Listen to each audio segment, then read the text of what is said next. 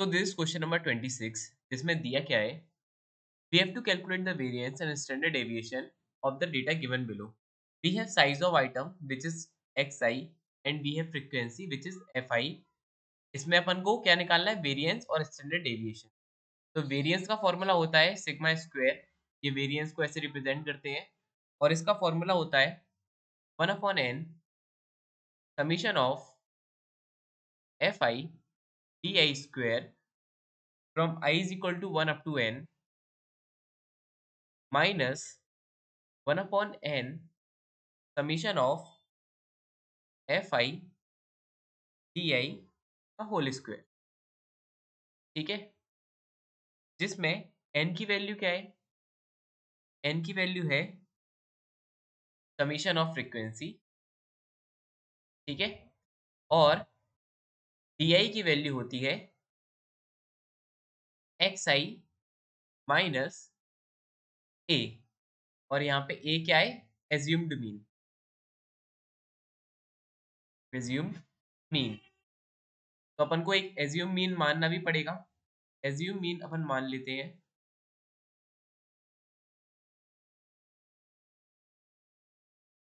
Six point five ठीक है? ठीक है? एज्यूम मीन हो गया अपना सिक्स पॉइंट फाइव तो अगर अपन डी आई कैलकुलेट करें तो अपन ये टेबल फिल करेंगे। तो अगर मैं पहले वाले के लिए डी आई देखूँ तो इसके लिए डी आई कितना होगा?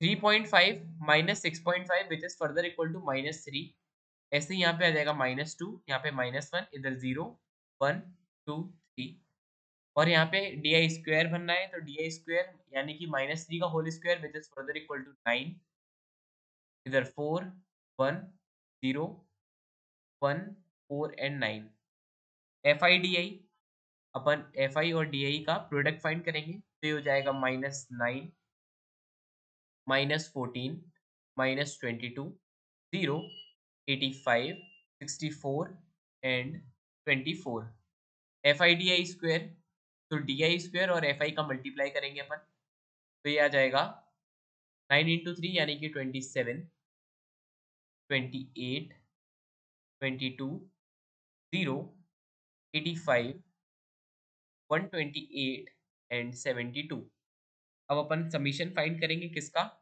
सबसे पहले तो क्या क्या चाहिए अपन को? देखो, अपन को एन चाहिए तो समीशन ऑफ़ फ्रिक्वेंसी निकालनी पड़ेगा। समीशन ऑफ़ फ्रिक्वेंसी देखते हैं कितना आएगा। तो ये आ जाएगा टू हंड्रेड एंड सेवनटीन अब अपन को क्या चाहिए? Summation of F I D I चाहिए पड़ेगा, ठीक है? तो summation of F I D I कितना आएगा? ये आ जाएगा वन ट्वेंटी एट, ठीक है? अब और क्या चाहिए? अपन को चाहिए summation of F I D I square ये दस चाहिए ना अपन को, ठीक है? तो summation of F I D I square ये आ जाएगा three hundred and sixty two ठीक है? अब अपन को सारे, सारी चीज़ें उठा के फॉर्मूले में पुट करनी है, ठीक है? बस, और अपना आंसर आ जाएगा। तो ये हो गया sigma square is equal to तो ये तो गया वेरिएंस का सिंबल तो यहाँ पे आ जाएगा वन अपॉन एन तो वन अपॉन एन की जगह आ जाएगा one upon two hundred and seventeen into three sixty two minus one upon two hundred and seventeen into one twenty eight का होल स्क्वायर ठीक है? फर्दर इसे अगर अपन सॉल्व करेंगे तो ये हो जाएगा three sixty two upon two hundred and seventeen minus one twenty eight upon two hundred and seventeen का होल स्क्वायर तो ये आ गया one point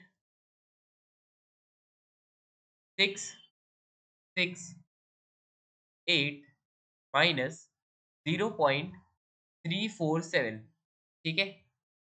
तो इसको जब अपन कैलकुलेट करेंगे तो अपना आंसर आएगा one point three two one तो ये तो हो गया अपना क्या? वेरिएंस ठीक है?